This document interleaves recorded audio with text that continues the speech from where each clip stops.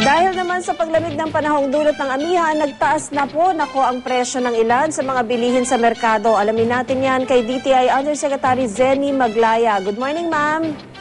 Good morning, Tina. Magandang umaga po sa inyong lahat. Opo, Opo, gano'n po kalaki itong pagtaas sa presyo? ang nakita lang natin medyo magalaw eh yung, yung presyo ng isda na huli po sa maalat na tubig no, or saltwater fish. Meron po tayong nakitang uh, 10 hanggang 20 pesos. Ang galunggong po ay umakyat ng uh, umakyat po. Pero alam mo, ang parang magandang balita dito is mukhang uh, bumababaho yung alumahan. From 160, ang latest report ng Department of Agriculture po ay bumaba sa 140 ang presyo ng alumahan.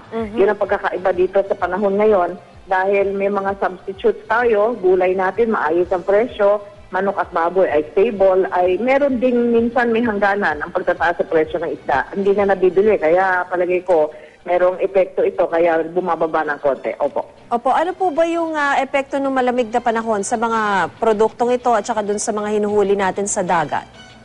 Ang isda po kasi, lalong-lalo na yung mga nasa ala, laot, ano, yung mga saltwater fish, kapag ganito yung taglamig, pumapailalim yan para medyo mainit-init ng konti ang tubig, kaya mahirap hulihin, ano? Opo. Kaya nagkakaroon ng ah, problema sa supply at alam naman natin kapag hindi marami ang dumarating sa mga daungan natin, sa mga fish landing ports, nagkakaroon ng epekto ito sa presyo. But, but at least, yung ating pong tilapia at bangus, dahil nasa fish cages po ito, hindi mahirap ang hulihan, kaya stable po ang presyo ng mga ito. Mhm. Ma'am, yung ah, price increase po ba hindi naman po labis?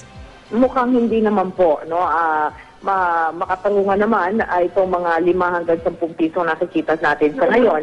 In fact, with the market demand, palagay ko ay uh, nakokorek or naaayos din itong mga pagtataas na ito. At hindi naman tutuloy-tuloy ito kung wala na hong magbibili pag sobra na rin taas. Opo. Tama po. Maraming salamat po, Undersecretary Zenny Maglaya ng DTI. Thank you very much. Good morning. Good morning po.